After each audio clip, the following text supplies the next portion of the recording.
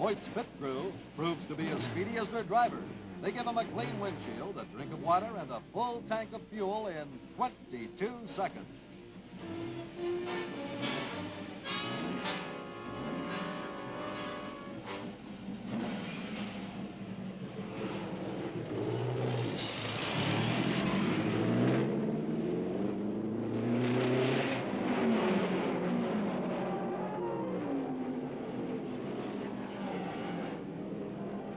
Bill Cheesbourg goes out on the 161st lap, his overworked engine in fragments.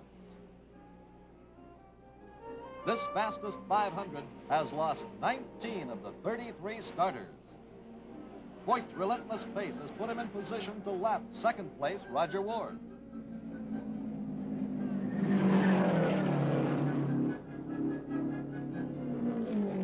With but four laps left in the race, Don Branson retires from competition with a broken clutch.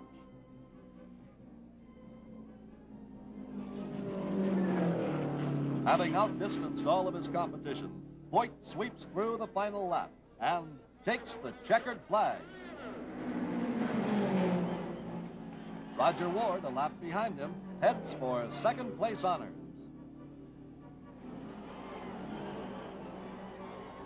A.J. Foyt steers toward victory lane, where sincere good wishes and the winner's pot of gold await him. His record speed of 147.350 miles per hour will spur new effort, new products, and new strategy in the competitive world of racing, just as surely as it will point to new designs for everyday transportation.